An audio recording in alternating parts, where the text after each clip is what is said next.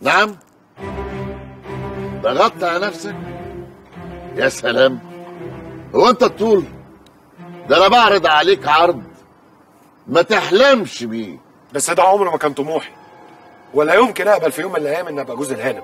أنت منفوخ على إيه ده اللي زيك يتمنى بس إن أشاور له بصباعي الصغير ده عشان يجي يشتغل عندي. من فضلك يا عامر بيه. مفيش أي داعي للتجريح. انت رجل اعمال غني وناجح. على عيني وعلى راسي.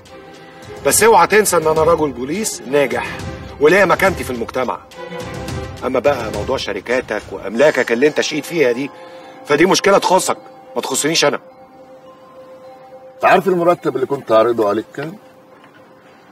أضعاف أضعاف اللي بتاخده من الشرطة. عمر الحكاية ما كانت بالفلوس يا عامر باشا. وإلا تاجر المخدرات. كان يبقى محترم أكتر منك مليون مرة. إيه الكلام الفارغ اللي أنت بتقوله ده. أنا غلطان إني عرضت عليك العرض الكريم ده. على فكرة أنا من أول لحظة شفتك فيها حسيت إنك إنسان مغرور إنسان مريض بالفقر مريض بالفقر والعنطزه بابا طارق في إيه؟ الباشا بتاعك يا هانم ما جايبك المنيلة. بعرض عليه عرض كريم بيترسم عليا ويتنمرض أنا احتراما لسنك وللنسب اللي بينا مش هرد عليك. لكن كلمة زيادة اقسم بالله ما هسكت لك. واعتقد بعد اللي حصل ده مفيش كلام تاني بيني وبينك. اوعي! طارق ارجوك بابا في إيه؟ إيه اللي حصل بينكم أنتوا الاتنين؟ مش عايز كلام خالص! ولا كتر كلام آه عندك! إيه بيساليه يا بابا يا بابا بس فهمني أرجوك. ما تحيرونيش.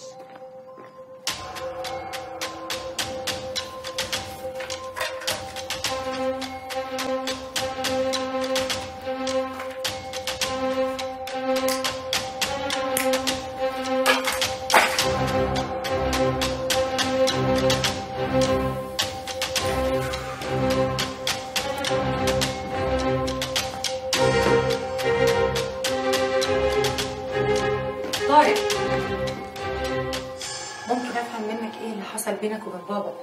خلاه خرج وهو متنرفز كده. هو اللي بتنرفز أرجوك يا طارق فهمني إيه اللي حصل. ليه هو البيه ما حكالكيش ولا إيه؟ للأسف. خرج وهو متعصب جدا ما قدرتش أفهم منه أي حاجة. ارحمني وقول لي إيه اللي حصل بينك وبين بابا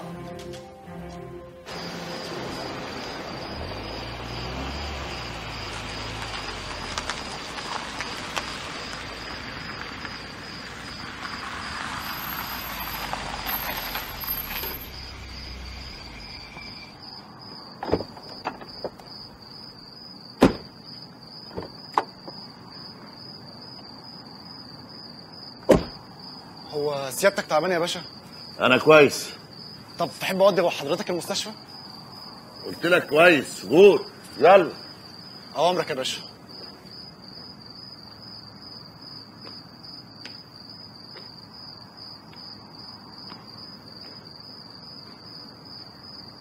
أنا عايز نسيب شغلي وأشتغل معاه وإيه يعني؟ هو بابا كان قال لك إيه يعني غلط؟ وأنا اللي كنت ظلماه كنت فاكري إنه بيستفزك زي كل مرة. طلع فعلا بابايا مظلوم. يعني إيه يا نورهان؟ يعني لازم تقبل بالعرض اللي بابا عرضه عليك يا طارق ده فرصة عمرنا. على الأقل هتأمن مستقبلنا هترحمنا من انشغالنا عليك. هنعيش سعدة زي بقية البشر. هتبعد عن الخطر. ده مش كلامك يا نورهان ده كلام باباكي. وإيه المشكلة؟ ما نسمع كلامه طالما كلام عاقل وموزون. يا طارق افهمني أنا بحبك ومحتاجالك في كل مرة بتنزل تروح شغلك بحس إن أنت بتودعني. بحس إن أنت مش راجع تاني. ومش أنا بس اللي محتاجالك سهى كمان. طارق لازم تقتنع بكلام بابا وتسيب شغلك. ولا أنت غاوي فقر وعنطزة؟ شغلي ده يا هانم هو حياتي. هو كياني ومستقبلي. وما عنديش أي استعداد أضحي بيه لأي سبب ولأي حد. يكون في عينك يا أنا حبي ليكي هو الحاجة الوحيدة اللي خلتني أوافق أكون الزوج التاني لست مدمرة نفسيا هي وبنتها. كان املي الوحيد إن أنا اعوضكم على العذاب اللي عشتوه ووالدك عامر بيه؟ المفروض يحمد ربنا ويبوس ايده وشه وظهره لأني وافقت أحط إيدي في إيده عشان أعالج بنته من العذاب اللي هو حطها فيه. أنا مش هسمح لحد يتكلم معايا في الموضوع ده تاني ابدا. مفهوم؟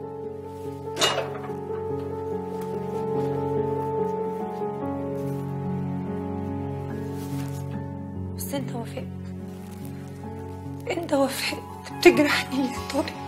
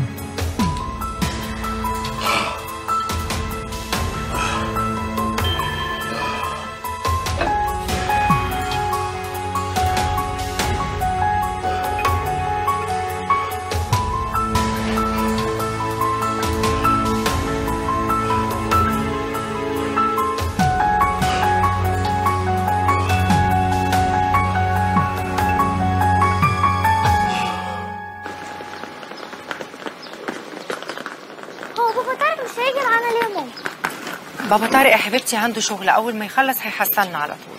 هيح هيحصلنا؟ هيحصلنا يا قمر يلا بقى يا جميل. يلا. ميرسي قوي يا أمينة. bye bye يا سهى bye. يلا يا روح bye bye يا أمينة.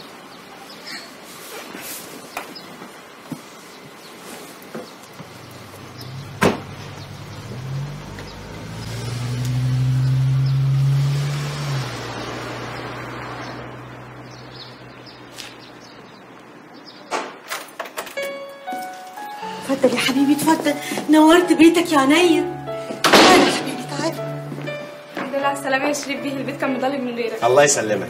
والله وحشتوني كلكم يا جماعة. يا حبيبي جاهزه بدري يا ماما. اجري بسرعة حضري الفطار يلا بسرعة. تعالى يا حبيبي تعالى عشان ترتاح في أوضتك. يا ماما ما فيش داعي للقلق ده كله. أنا كويس وزي الفل اهو ما فيش حاجة. كويس أنت راخر أنت لسه يا حبيبي في فترة نقاهة. تعرف يا شريف أنا طول الوقت عمالة أفكر. نسافر فين بقى؟ نقضي فترة النقاهه بتاعتك. تصدقي يا أمي انت معاكي حق. ده أنا حتى كنت بفكر إن أنا بقى أستقيل من الشغل ونسافر ولا أقول لك نهاجر ونسيب البلد ونعيش بقى في نقاهة وكده ورزق. الله يا شريف الله. فكرة الاستقالة دي يا حبيبي حلوة قوي. بس ليه نهاجر يا روحي؟ مش لازم نهاجر. يا عيني يا ماما. أمال هتعملي إيه لما تعرفي إن أنا بكرة الصبح إن شاء الله نازل الشغل؟ إيه؟ أنت بتقول إيه يا شريف؟ إيه اللي إيه يا ماما؟ في إيه؟ وأنا قلت حاجة غلط؟ أنت عاوزين أفضل قاعد في البيت كده لا شغل ولا مشغلة يعني؟ لا لا حرام عليك. أنا مش هرد على الكلام اللي أنت بتقوله ده. ليه يا شريف؟ حرام عليك أنت عايز تعمل فيا إيه أكتر من كده؟ ليه يا أخي؟ أنا لو جرالي حاجة يا شريف هتبقى أنت السبب. بسبب دماغك الناشفة دي. دماغك الناشفة اللي هتوديك في داهية وهتوديني معاك. يا ماما فهميني بس. مش. عايزه أفهم حاجة ولا أسمع منك أي كلام. أنت بتعصبني يا ابني حرام عليك والله. والله يا ابني حرام عليك. يا, يا ماما. يا نوجا. يا مشريف خلاص اللي في دماغها في دماغها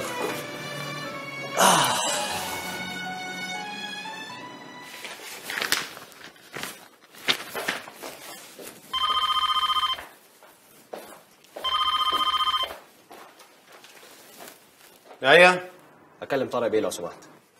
نقول له مين؟ لحقت تنسى صوتي يا معتز بيه ولا إيه؟ إيه ده يا شريف؟ معقولة؟ إزيك يا شريف؟ أخبارك إيه؟ أنا الحمد لله وحبيت أكلمكم عشان أقول لكم إن أنا خرجت النهارده الصبح من المستشفى وأنا بكلمك من البيت. تصدق إنك ندل طب كنت قول لي كنت جيت وصلتك لغاية البيت. الله يخليك. امي قامت بالواجب.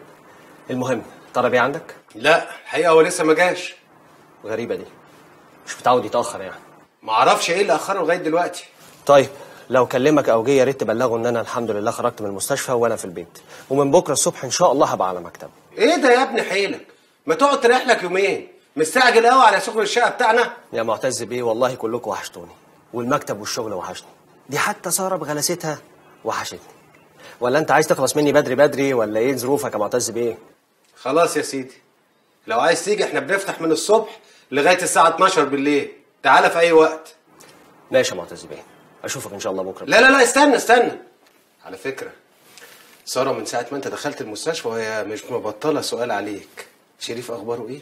شريف هيخرج ولا لسه؟ شريف جه الشغل ولا لأ؟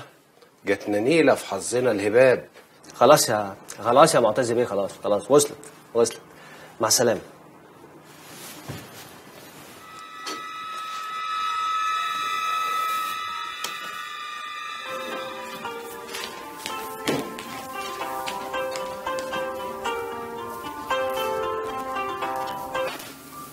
أيوه.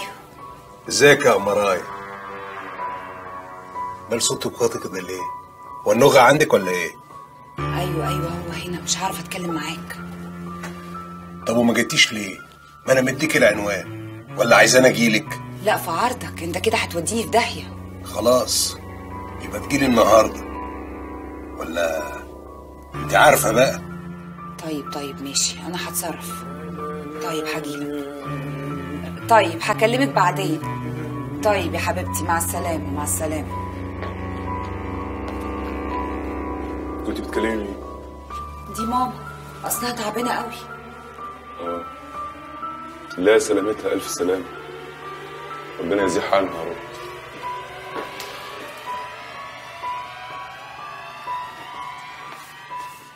هو أنت خارج يا أكرم؟ آه خير ليه؟ أصل ماما كلمتني وتعبانة قوي. عايزاني أفوت عليها. فقلت يعني تاخدني في طريقك وتطلع بالمرة تطمن عليها شويتين. ولا شويتين ولا ثلاثة روحي مع نفسك انت عارفة لو بطيقهم من كلنا بتطقني روحي بس ما تأخريش. هو ده اللي باخده منك. ميرفت أنا مش عايز صداع. أنا كفاية اللي أنا فيه. الحكاية مش ناقصاك أنت وأمك كمان. سلام.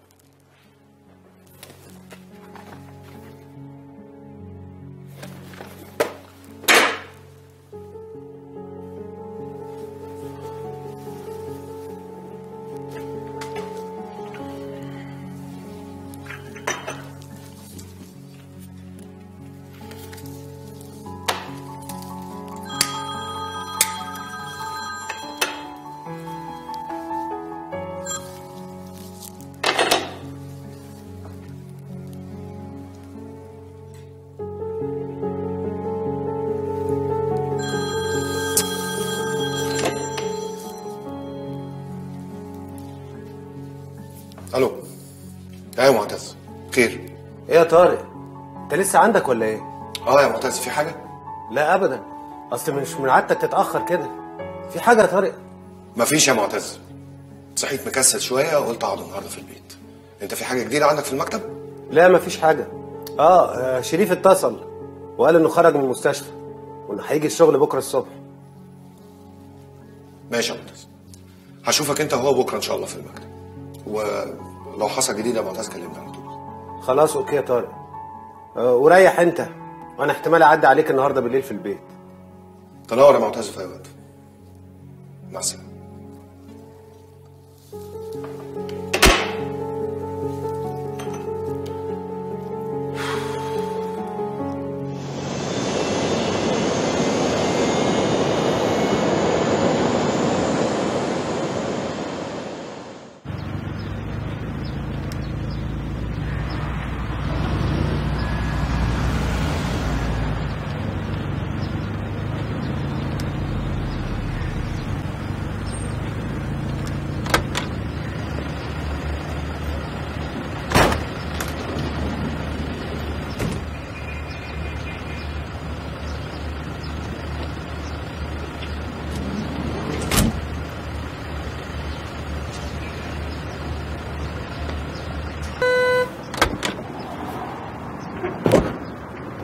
انت يا ابني انت انت يا ابني انت تطرش ولا إيه؟ كلمني أنا يا باشا. أيوه يعني هكون بكلم خيالك. بقالي ساعة عايز ازود هوا وانت قاعد لي هنا زي التروبش آه ما أنتوا ساعة البقشيش بتيجوا زي الدلادين. الله وليه كده يا باشا؟ ما انت شايفني شغال اهو. انت هترد عليا يالا ولا إيه؟ يا باشا ما تخليك باشا محترم بدل ما اغلط فيك تغلط فيا أنا؟ انت اتجننت يالا ولا إيه؟ في إيه يا أستاذ؟ أنا مدير المحطة. ما تنقوا الاشكال اللي بتشتغل عندكم. اشكال معفنة صحيح. احترم نفسك يا بني آدم. يا أخي يا أخي اتقي ربنا في شغلك. يا حاج عمر ده راجل غلط غلط إيه؟ أنت اللي غلط وبتلقح ومش شايف شغلك مظبوط. على فكرة أنت طفشت لي الزباين كلها. المرة دي هكتفي بيومين خصم لكن لو حصلت بعد كده هقول لك مع ألف سلامة. الباب يفوق الجمل بتبص لي كده ليه يالا ما تيجي تاخد لك قلمين أحسن. تصدق بالله أنا لولا بس حالف على الشر اللي كنت قطعت وشك هي حصلت يا عدوي بتمد إيدك عليا؟ طب إيه رأيك من السعادة مالكش عيش فيها؟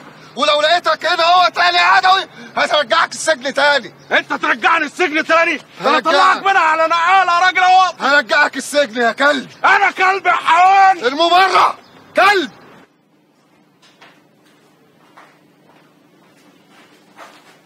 أنا مش فاهمة منك حاجة. من ساعة ما رجعتي وانت عمالة تلخبطي في الكلام ومش على بعضك كده. ما تفهميني في إيه؟ يما اسمعيني ومن غير رأي كتير. هما كلمتين ورد غطاهم أنا عندي مشوار مهم لازم اعمله من غير اكرم ما ياخد خبر بيه. فقلت له انك عيانة ولازم ازورك. اسم الله عليا يا أختي. طب وليه الفل الوحش ده؟ يما دي حجة مش هتلزق يعني. المهم لو اكرم كلمك بالتليفون ولا جه تعملي نفسك عيانة وتمثلي الدور. طب لو سأل عليك أقول له إيه بس؟ قولي له قولي له إنك عملتي تحاليل وإني رايحة أستلم النتيجة وأوديها للدكتور. أه، أي حجة والسلام ماشي. بس مش ناوية تقولي لي مزوغه من جوزك ورايحة على فين؟ مصلحة. عندي مصلحة يما وهقضيها. مصلحة إيه؟ بعدين يما بقى أحكي لك على كل حاجة بس مش دلوقتي على رواقه لا يا أختي بقى دام مصلحة يبقى أبو قاسم. آه. يبقى كلميني يا حبيبتي طمنيني عملتي إيه؟ حاضر يما سلام دلوقتي. طب خلي بالك من نفسك. مع السلامة.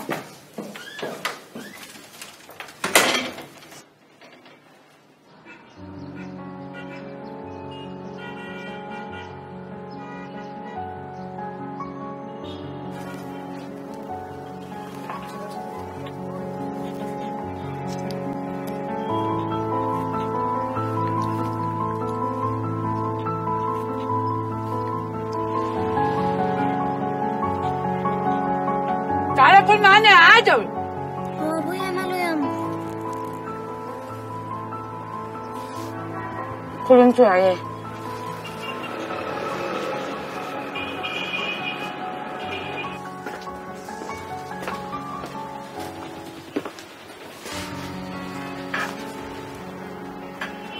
مالك يا عدو؟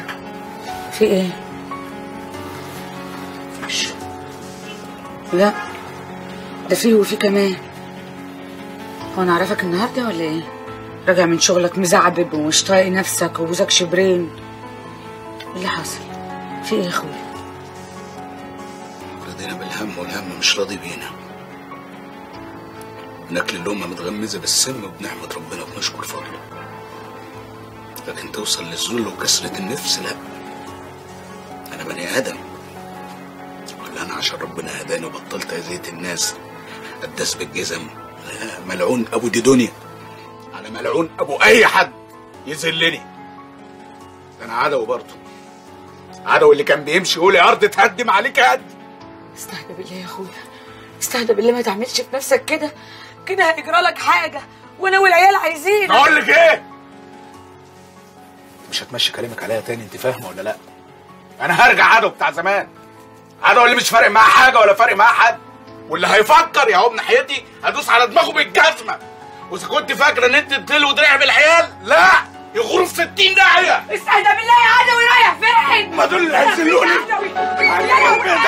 لا قبل ما اشوفهم بيموتوا قدام عينيهم جوه مفيش حاجة هتذلني تاني. فاهمه ولا لا مفيش حد هيذلني تاني. لا يا عدوي. أبوس رجلك. تقتل ولادك وتعيش بحسرتهم طول عمرك. لا يا عدوي. مالناش غيرهم يا عدوي؟ دول هم اللي لينا ده إحنا شفنا الذل والشقى عشانهم يا عدوي. ولادك يا عدوي ابوس إيدك ولادك يا عدوي. محدش هيذلني تاني. مفيش حد هيذلني تاني. غوري من وشك يا رب يا رب. يا رب استرها علينا يا رب. استرها علينا بحق حبيب حبيبك النبي يا رب.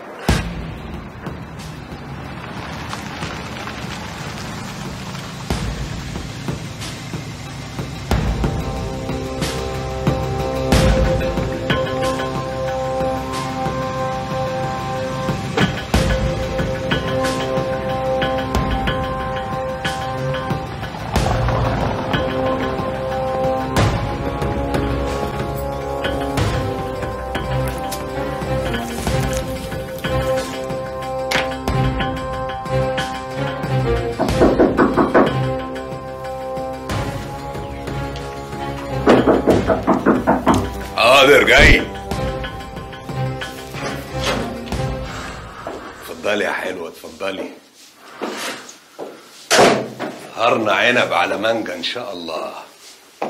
ده إيه الحلاوة والجمال ده؟ بسم الله ما شاء الله. ازيك يا غنيم بعد ما طليتي عليا بقيت تمام التمام. إيه يا أخويا اللي حدفك الحدفه دي؟ أصلا أنا أحب الروقان قوي قوي قوي قوي.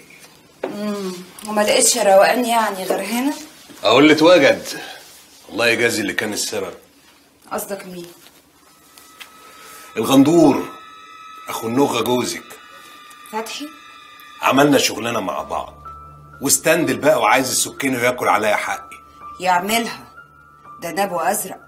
وغلاوتك عندي. فتحي ده صيت على الفاضي. بس أنا حطيته هنا أهو. ومش هعتقه. نصيحة من واحدة عجناهم وخبزاهم. ومعاشرهم من سنين. ابعد عنهم أحسن لك. وخصوصا فتحي ده. لحسن قرصته والقبر معذورة حبيبتي. أصلك ما تعرفيش غنيم عشماوي العنتيل يطلع إيه؟ ده أنا جامد قوي وما سيبش حقي لو حتى عند الجن الأزرق مش عند السي فتحي. ما بلاش جو الأفلام الأبيض والأسود ده يا غنيم أنا يا أخويا مش جاية أقضي ليلة حمرا. وبعدين أنا هرجع على البيت. لو أكرم أخد باله إني شاربة هتبقى حكاية. في دي عندك حق. بس على فكرة أنا مش بتاع أفلام. أنا من ساعة ما شفتك وأنت سكنت القلب من جوه. ولا أنا جاية أعمل غرامية ولا أنا وحياتك بتاع غراميات. أمال عايز إيه بالظبط؟ أكلت دماغي في التليفون. نتقابل نتقابل. واديني جيت. هات اللي عندك. تعالي نحط هم على همك يا بنت الناس. ما الهم واحد. وطرنا إحنا الاتنين عند نفس الناس. الراجل المجدع المخلص اللي زيي. عايزين يسكوه وياكلوا عليه حقه. والقمرايا اللي زيك اللي تتقل بالذهب. مدفونة معاهم بالحياة. ما تقلبش عليا المواجع يا غنيم. وهات من الآخر. عايز توصل لإيه؟ عايز ندور ونفتش على حل يخلصنا من الهم اللي إحنا فيه ده. دي شبكة سودة. وبعدين مش هتعرف تخلص منها. لو عليا أنا عايز أخلص منها النهاردة قبل بكرة. بس ألاقي سكة. السكة كانت موجودة وكانت سالكة. لولا اللي حصل ده بقى. مش فاهمة. تعالي وأنا افهمك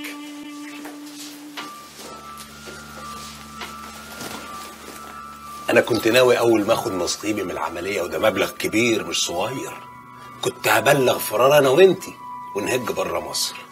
يعني عايزني أطفش معاك زي الحبيبة في الأفلام؟ وكان هيبقى أحلى طفشان. أنا في واحد صاحبي عنده كباريه معتبر في لبنان. كنت هشاركه بنصيبي. واطلقك من أكرم ونتجوز. وهترقصي في الكباريه. وهتبقي نجمة برنسيسة. وتعيشي بقى مع الراجل اللي بيحبك وبيقدرك. وتخلعي من الهم ده. ما تاكلش بعقلي حلاوة يا غنيم وحياتك وغلاوتك عندي. كنت هأكلك بغاشة وبقلاوة. لولا اللي حصل ده فكري بعقلك يا ميرفت العمر بيجري. والواد أكرم ده لو متشعلق بيك النهارده بكرة يتشعلق بغيرك ويرميك يا مولاي كما خلقتني. لكن باللي بخططه ليا وليكي هتعيشي طول عمرك برنسيسة. الكل يجري وراكي ويتمنى رضاكي. ساعتها بقى نعمل قرشين حلوين نأمن نفسنا من غدر الزمن ونعيش في تبات ونبات. ونخلف صبيان وبنات. أهو كل كلام ابن عم حديد. افضل أنت يا أخويا أحلم كده وطيرني معاك فوق في الهوا بس اوعى توقعنا على جدور رقبتنا. آه. هما لما ضربوا الأعور على عينه قال إيه؟ خسرانة خسرانة. اسم الله عليكي معايا بقى. مش هتخسري قد اللي خسرتيه مع النوغة. لا ده أنت هتكسبي وهتكسبي كتير قوي. حط إيدك في إيدي. عشان نشوف حالنا ومصالحنا. وغلاوتك عندي. لا تشوفي عز وفلوس ما شفتهاش قبل كده. تسيبي الهم بقى وتعيشي مع راجل بيحبك ويقدرك ويشيلك في عينيه من جوه عشان نعيش في هنا وسعادة. وعشان ده يحصل. إيه المطلوب يا غنيم ارجع حقي اللي اتسرق مني. موت يا حمار. هي الحداية بتحدف كتاكيت. مش هتطول من فتحي غير شر واذاه خلي إيدك في إيدي ونحط قلبنا على قلب بعض. ساعتها مش هنغلب. هنلاقي مليون طريقة وطريقة عشان نرجع بيه حقنا ونبلغ فرار ونسيبهم يخبطوا دماغهم في الحيط. أنا عارف إنك بتدوري على الفرصة اللي تخلصي بيها من الهم ده. والفرصة جت لحد عندك. اوعي تضيعيها. عشان لو ضيعتيها هتعيشي ندمانة طول عمرك. انت عقلك كبير وعندك إمكانيات تعيشك برنسيسة عيب عليكي لما تعيشي بلقمتك مع عيل عويل زي ده. ماشي يا غني. همشي ورا الكداب لحد باب الدار. وعلى رأيك ضربوا الأعور على عينه. الخسرانة خسرانة. رتب انت وخطط وشوف هناخد حقنا منهم إزاي. وأنا معاك. هو ده الكلام الموزون يا أمرايا بس اوعى شيطانك يوزك وتلعب بيا. عشان مش كل الطير اللي يتاكل لحم. وأنا لحمي مر قوي.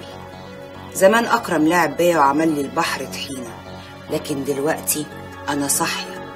وساعة الجد هطربقها على دماغي ودماغك. واللي يحصل يحصل. أنا مش هرد عليكي بالكلام. أنا هسيب الأيام هي اللي تثبت لك إنك مع غنيم دايما كسبانة وهتحققي كل اللي بتحلمي بيه. قلتي إيه؟ قلت إيدي في إيدك يا غنيم. وأنا كل ليك يا أمرايا